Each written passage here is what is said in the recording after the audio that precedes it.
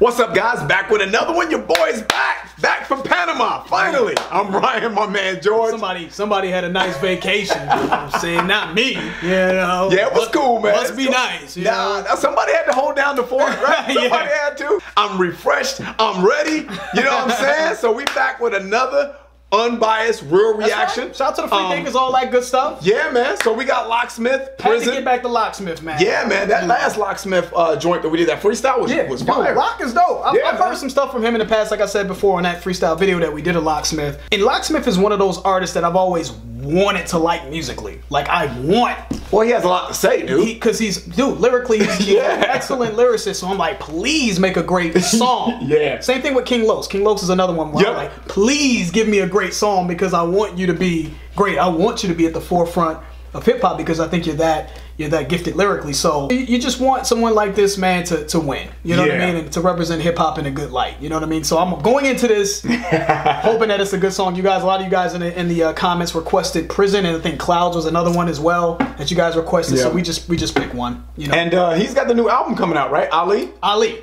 Yes. Now Ali. is is that um is that Muhammad Ali or, or is that know. is it um Give us some um some Yeah. feedback on that. I don't know too much about it. I don't know if that's uh, He's the what's, greatest. what's his name? What's what's Locksmith's name?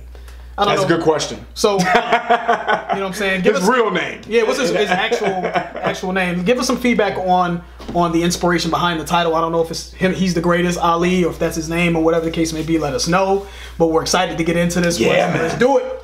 Locksmith Prison. Everything's a lie, everything's a prison.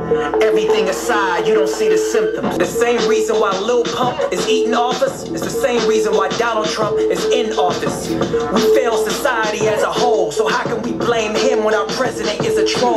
we say do as we say, not as we do. That's the ritual. And That's Kanye said slavery was an amalgam. And two weeks later, you niggas still bought his album. Cause both of them motherfuckers are black killers. Mm. Both of them hard. motherfuckers attack. Locksmith, That's hard. Locksmith, you trying to get assassinated? Yeah, I'm telling you.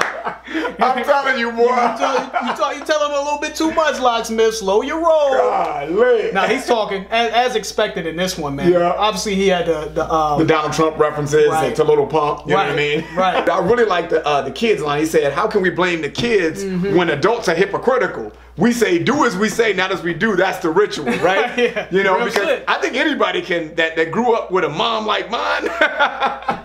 My mother was always like, because I said so. Yep. You know, just do what I say. You know, that is what I do. You know what I'm saying? So, uh, like, but mom, you curse, but you can't. You know what I'm saying? smoking ain't for you though. Blowing the smoke in your face, like wait. You know, it speaks to, to to the miseducation, man, that a lot of us grow up with. I mean, you know, your parents aren't always right. Your parents are flawed. Yeah, man. And they can't be hypocritical. You know what I mean? So it, it's you have to lead by action as well as what what you're saying. You gotta be good role models, man. Right. You know what I'm saying? So I thought that, that was a real line that he said. And he said Kanye said slavery was an amalgam, and then two weeks later, that nigga still bought the album. Yeah. Ain't that some shit, boy? You know. And then the chorus says everything's a lie, everything's a prison. Yep. Everything aside, you don't see the symptoms. Everything you try only feeds the system. Everything's a lie, everything's a prison. So I thought that that was hard. Mm-hmm. Yeah, I think man. it kind of fits well in what he's saying, right? like kind of a level of control, right? Yes. Like everything is is got this level of control over you, right? Mm-hmm. Especially when he says that you don't see the symptoms, Mm-hmm. right? It's like it's almost like um, everyday life to us that we kind of just brush past. We don't Mm-hmm. really see that shit as it as it's really affecting us more than we really Absolutely. realize. You know what I mean? Absolutely. Like you don't even know that you're you're sick. You know what I'm saying? Yeah, exactly. And then the line down here when he said, I don't trust the popo, the police, or the crack dealers, because both of them motherfuckers are black killers. And you know what I love about that line, man? Um, is it's accountability there, right? It's not just Real talk. police, right? Drugs kill motherfuckers daily. Dude. Daily. You can make an, you can make an argument. You can make an argument that drugs are probably single-handedly the most destructive thing That's that the true. black community has ever had to face. That's true. you know, and, For um, years now.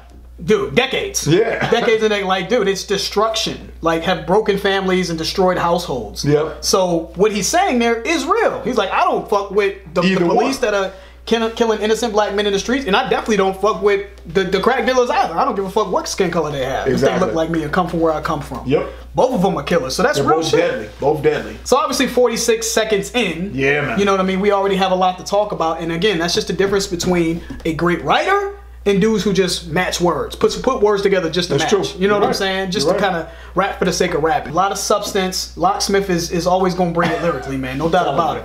All right, let's keep it going. Everything's a program that's programmed. They program the kids while selling their own brand. Media outlets have outstretched past reviewing, and now the interviewers are interviewing the interviewers. They want to be stars more than the artists they're in view of. You, basically, you don't want to stand in the place of me. How perfect must a black kid be before we feel free to warn him? Mm. Born into poverty, liberation is property. Limitations are properly put in place, even I can see. Educated through YouTube, it's brutal. The literary standard for information is Google. It's The internet is our classroom. Graduate from your bathroom and spew stupid shit like a gas. I speak for what's pressing and feed from aggression. No need your discretion. I peak when niggas least would expect it. I uh-huh. leaped in the metrics, creeped up with a gleeful expression, a lethal obsession. So even in defeat, there's progression. I'm like, everything's a lie, everything's a prison. Yeah. Locksmith is the truth. Yeah, I like that. When people just have something to say, man. Yeah, I know. I it's know, refreshing, man. dude. Maybe, maybe that's just where I'm at in my life, man. But I just like when rappers have real content. They have Yeah. something to talk about.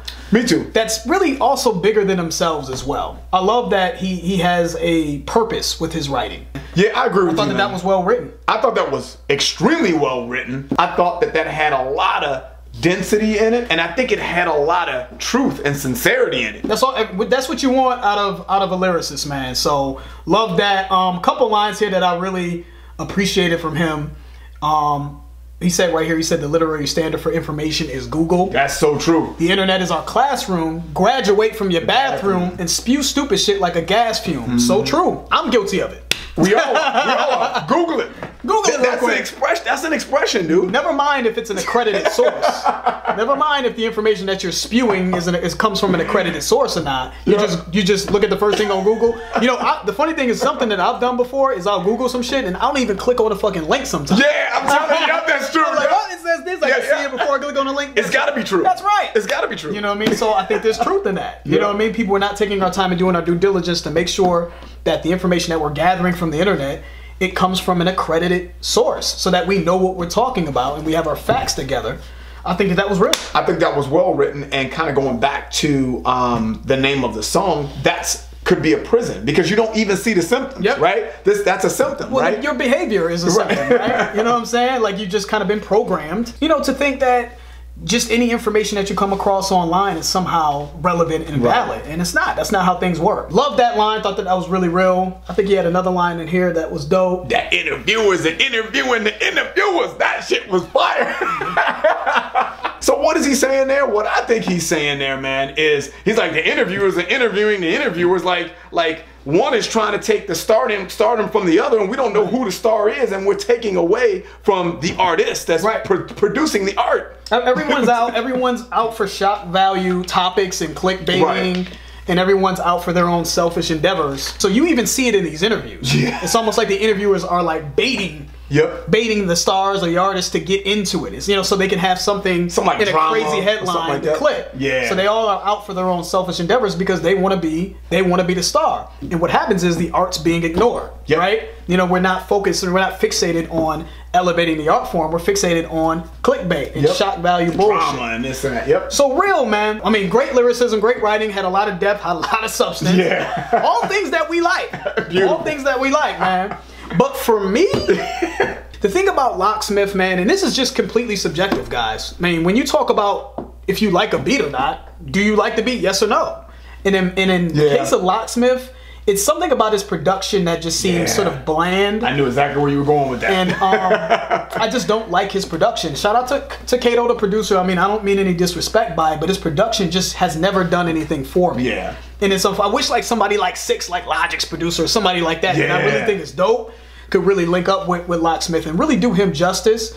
Um, because I think the backdrop behind such, um, you know, profound, provocative Right. lyricism Exactly. um, would would really bring him to a different level. I agree. mean? And um, that's just kind of how I feel with the beat. I thought the beat was just kind of basic, nothing really exciting about it, and it just felt like an amateur run of the mill type of beat to me, Yeah. man. It's just unfortunate. It's like it's, it's almost a travesty to have Yeah. an artist that has something like this to say that could really, you know, maybe evoke change. Yep. um, to not have the proper production behind them. It's just in my opinion. Yeah. It's just my opinion. So that to me, it, it, it stops me from wanting to put it on my playlist. It's like I just can't.